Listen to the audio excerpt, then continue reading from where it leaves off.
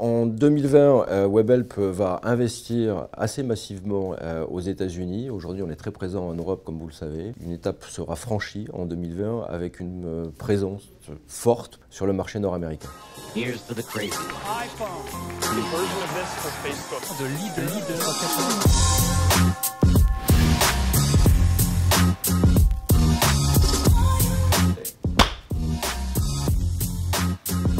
Webhelp est une entreprise leader en Europe dans les métiers de la relation client. On emploie 55 000 personnes qui produisent au travers de 150 centres de relations clients et on est présent dans une cinquantaine de pays dans le monde.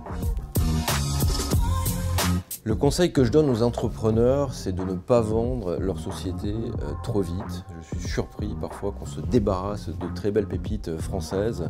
Quand on a monté une belle boîte en France, euh, on a encore un potentiel de croissance très important en dehors de France, en Europe et dans le reste du monde. Donc s'il vous plaît, messieurs les entrepreneurs, vous qui avez fait l'effort de monter de très belles boîtes, ne les vendez pas trop vite, il y a encore plein de choses à faire. Alors la plus grosse galère, elle remonte à, 2001, premier semestre 2001. Euh, on devait absolument faire une levée de fonds et puis les marchés étaient complètement déprimés. D'ailleurs, il n'y a pas eu de levée de fonds euh, au premier trimestre ni au deuxième trimestre 2001, du moins euh, au montant qu'on souhaitait. Et on a senti qu'on allait devoir refaire nos CV parce que les caisses se vidaient. Mais heureusement, après des sueurs froides, on a pu réaliser notre levée de fonds en juin 2001 et développer la société telle que vous le savez. Me rappelle d'un appel d'offres très important qui avait été lancé par une grande société américaine.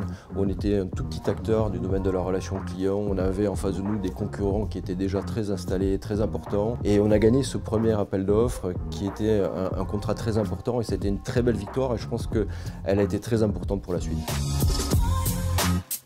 Le rêve absolu de tous nos collaborateurs est de créer une marque qui dure. On a un programme en interne qu'on a appelé Build to Last, c'est être capable de créer une marque qui traverse le temps, qui n'est pas simplement euh, un leader à un moment, mais une marque qui survit, euh, notamment à ses fondateurs. Je pense que mon rêve absolu, c'est que euh, une fois que j'aurai passé la main et que d'autres prendront le relais, la marque Webel puisse vivre encore très longtemps. Here's to the crazy. iPhone. The version of this for Facebook. The leader. The leader.